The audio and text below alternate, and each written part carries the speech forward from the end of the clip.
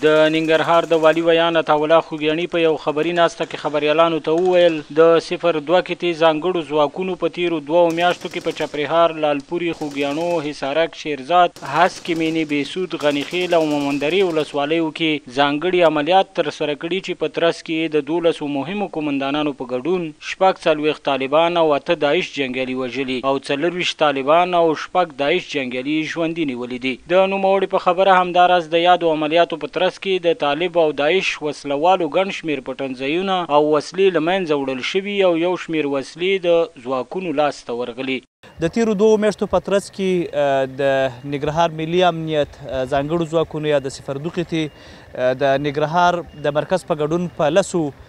ولسوالیو کې عملیات ترسره کړي چې په دې کې شیرزاد، حصارک، هسکه مینه، پچراګام، چپرهار، مرکز جلال آباد ښار او یو شمېر نورې سیمې شاملې دي. دلته عملیات ترسره کړي چې د دې عملیاتو په ترڅ کې د دولس مهمو قوماندانانو په ګډون چې هغوی رهبري کوله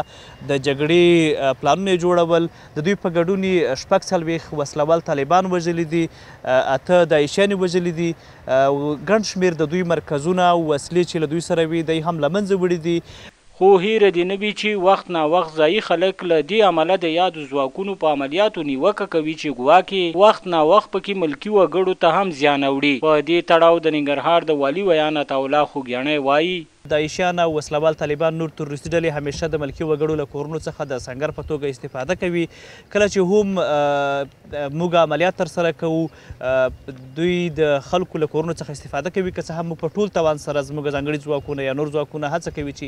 ملکي وګړو ته تلفات وانه وړي، نو په هغه حالاتو کې ځینې وخت له ډیر احتیاط سره سره بیا هم ملکي زیان موږ لرو چې په هغې باندې موږ خواشیني یو او زموږ ټوله هڅه دا ده چې ملکي وګړو ته زیان وانه وړي. دا په داسې حال کې ده چې اوس مهال د دغه ولایت په خوږیاڼو او شیرزادو ولسوالیو کې د یادو دواړو ډلو له لوري خپل منځۍ نښتې روانې دي چې له امله یې سلګونه کورنۍ کډوالۍ ته اړ شوي او ویل کیږي ډیر وخت د دغه نښتو له امله ځایي خلکو ته ستر زیانونه اوړي، خو لا تر اوسه په دې تړاو یادو دواړو ډلو رسنیو ته څه نه دي ویلي. سباوون ساحل، شرق راډیو تلویزیون، ننګرهار.